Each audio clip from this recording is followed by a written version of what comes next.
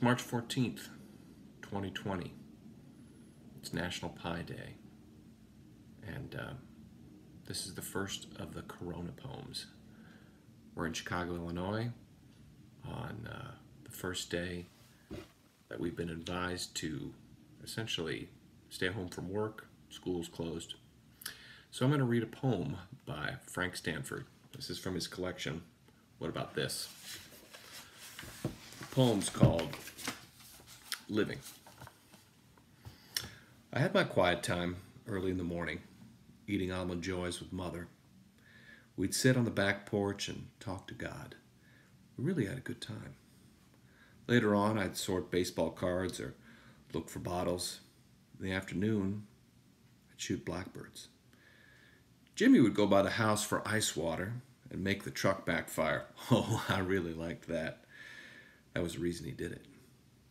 In the evening, the cottontails ran across the groves.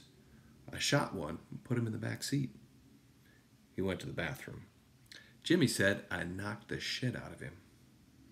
At night, we would listen to the ball game, then to the Hoss Man. Jimmy liked Take Out Some Insurance on Me, Baby by Jimmy Reed.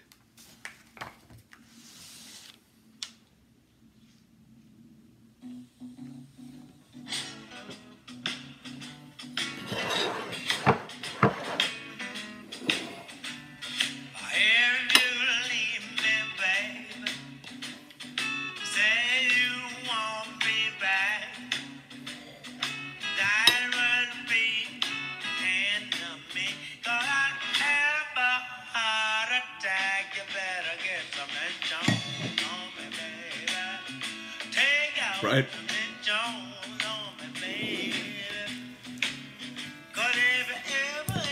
Living by Frank Stanford.